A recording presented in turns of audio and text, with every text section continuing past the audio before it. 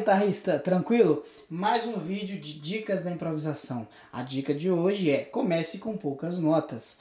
Isso mesmo, porque normalmente a gente começa a improvisar, já quer lançar um bilhão de notas. E o ideal é você começar com poucas notas para se tornar até mais musical para depois a gente acrescentando outras escalas, outras notas. Então nesse vídeo vou dar essa dica para você e o que você pode fazer para começar com poucas notas na hora do seu improviso, beleza? Sem demora, vamos pro vídeo. É, como eu disse, nós vamos trabalhar poucas notas. Vou tentar passar para vocês aqui uma maneira que você pode é, trabalhar poucas notas na hora do seu improviso. Porque se você começa com poucas notas, é, com o tempo você vai treinando a técnica e vai conseguir acrescentar mais notas, mais virtuosismo e assim por diante. Beleza? É, eu vou soltar um backing track aqui. Primeiro, antes de, de, de, mostrar as ideias que você pode fazer, é, nós vamos pegar uma tonalidade, tonalidade de Dó maior. Os acordes que vão estar no backing, na verdade é um backing track, não é um loop que eu fiz aqui na pedaleira. É, os acordes que vão estar é Dó maior e Fá maior. Somente esses dois acordes que a base vai, ser, tá, vai estar sendo tocada. Estou agarrando para falar. Então, o que, que, a gente vai. O que, que nós vamos fazer? Eu vou pegar a escala de Dó maior. Esse shape, esse desenho. Nós vamos trabalhar poucas notas, ou seja, nós vamos pegar só essa região que é desse Dó aqui. Ré, Mi, Fá, Sol. Só essas cinco, cinco notas. Porque a ideia é você começar com pouquíssimas notas e treinando melodias ah, para você até ficar mais, como eu disse no início do vídeo, mais musical e, e, e, conhecendo mais os sons das notas. Depois você vai acrescentando outras notas da escala, mas vamos nos ater apenas a essas cinco notas. Eu vou soltar aqui o, o loop para você ver. Perceba que eu vou começar bem simples, ó.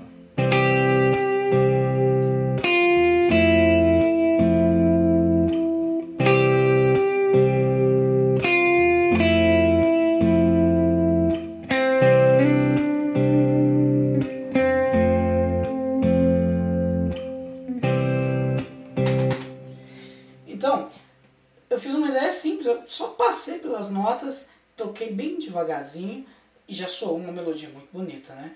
Então, é, a ideia é sempre essa, você acrescenta, você vai combinando as notas de, de maneira aleatória e vai produzindo sons. Eu posso fazer com mais movimentos? Posso, vamos ver aqui para você ver.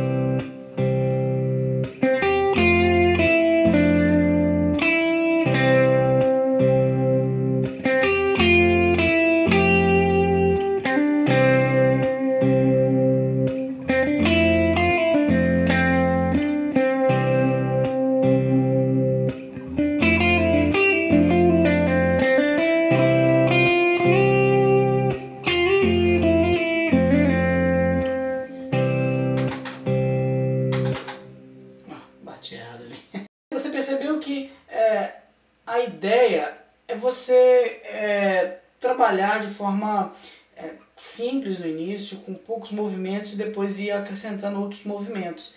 Porque isso vai te fazer, como eu disse, tornar mais musical e você vai conhecer melhor o som das notas da escala que você está tocando. Você pode aplicar isso é, de maneira é, como eu estava dizendo, lenta, toda hora eu estou garrando para falar. Você pode aplicar de maneira lenta, é, sem pressa, e depois ir acrescentando outros movimentos.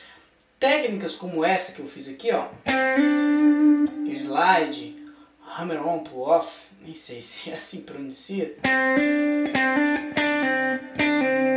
são técnicas que vão te auxiliar bastante na hora de fazer um, improviso mais, mais musical, mais leve, né? Então trabalhe a dica é, trabalhe poucas notas, poucos movimentos, depois vai aumentando os movimentos. Procure uma região da escala com poucas notas, 5, 6 notas no máximo, e brinque naquelas notas para que você é, fique mais musical, conheça mais o som das notas e depois, com certeza, você vai conseguir desenvolver melhor em todo o braço da guitarra e em outras escalas também. Beleza? Essa foi a dica. Valeu! E aí, curtiu o vídeo? Gostou da dica de improvisação de hoje? Então, eu vou te pedir três coisas que não vão demorar nada para você fazer. A primeira deixar seu like, o joinha aqui embaixo. Segunda, se inscreve no canal que você vai acompanhar as novidades, os novos vídeos que vão estar sendo postados, beleza? E a terceira, você vai deixar no comentário como foi o seu, primeiro improviso, como você começou, qual escala você usou, qual foi a sensação, ficou perdido, não ficou, enfim. Você vai dizer aí no comentário que, como foi sua, sua primeira experiência na hora de improvisar. Compartilhe o vídeo com a galera e bora estudar, porque a guitarra não pode parar.